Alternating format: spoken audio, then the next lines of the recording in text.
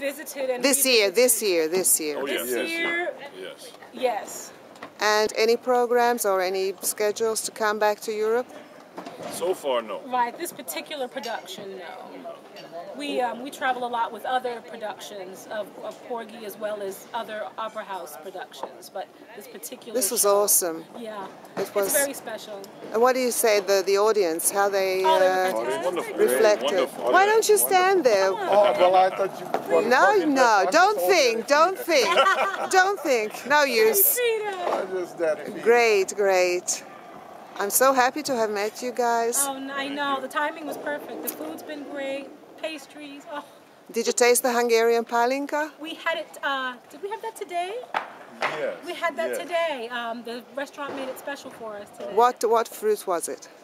Uh, the the palinka is the is that the, the cake? The No, dessert? no, that's the hot drink. Oh, uh, no, they served that last night. That was the hot drink. Uh, we had we at the reception last night. It was No, a, they it's, it- it's like a shot, you know. Yes, the shot. They called it. hot. And what Oh, was yeah, it? yeah, yeah, yeah. Apricot or plum? I didn't have it. Did you have it? The shot? I didn't. I had it. No. I didn't have it last night. I had it today when Oh, we you went up did? to the market. uh, uh, they gave us a sample shot. Uh, I just took a very tiny. Oh, they very call tiny- our cast called it hot fire. Hot fire.